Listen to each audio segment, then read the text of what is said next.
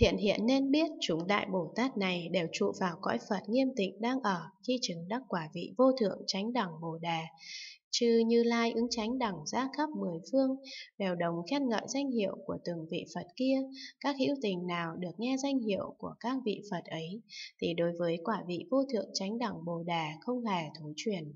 Chúng Đại Bồ Tát này đều trụ vào cõi Phật nghiêm tịnh đang ở, khi chứng đắc quả vị vô thượng chánh đẳng Bồ Đề, vì các hữu tình mà giảng thuyết chánh Pháp, các hữu tình nghe rồi nhất định không còn sanh nghi ngờ là Pháp hay phi Pháp. Vì sao? Vì các loài hữu tình kia đạt được tất cả Pháp, đều tức là chân như Pháp giới Pháp tánh, tất cả là Pháp không phải phi Pháp.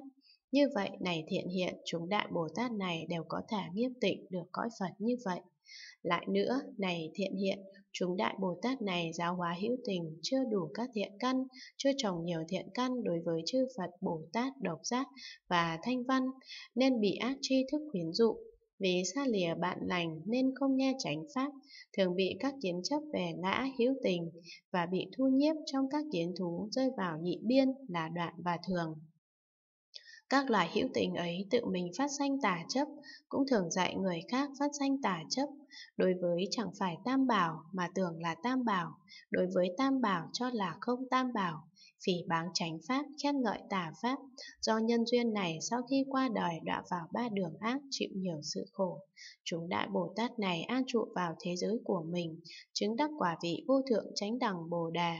Thấy các hữu tình luân hồi trong vòng sanh tử chịu vô lượng sự khổ, nên dùng sức thần thông phương tiện giáo hóa, làm cho chúng xả bỏ tà kiến, trụ trong chánh kiến ra khỏi ác thú, sanh vào nhân đạo lại dùng các thứ thần thông phương tiện giáo hóa làm cho chúng an trụ trong chánh định, hoàn toàn không bị đọa vào các đường ác, tu tập căn lành thù thắng, sau khi qua đời được sanh vào cõi Phật nghiêm tịnh, hưởng thọ pháp lạc đại thừa nơi cõi tịnh. Như vậy, này thiện hiện, chúng đại Bồ Tát này đều có thể nghiêm tịnh được cõi Phật như vậy.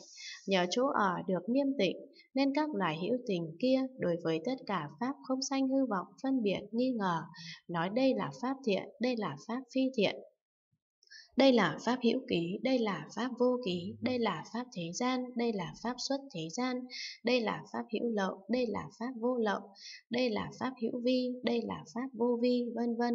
Các sự phân biệt nghi ngờ như vậy hoàn toàn không sanh. Do nhân duyên này, loài hữu tình kia nhất định chứng được quả vị vô thượng chánh đẳng Bồ Đề, chuyển pháp luân vi diệu, độ thoát các hữu tình. Thiện hiện nên biết đây là tướng công đức nghiêm tịnh cõi Phật, Đại Bồ Tát làm lợi ích an vui cho tất cả hữu tình.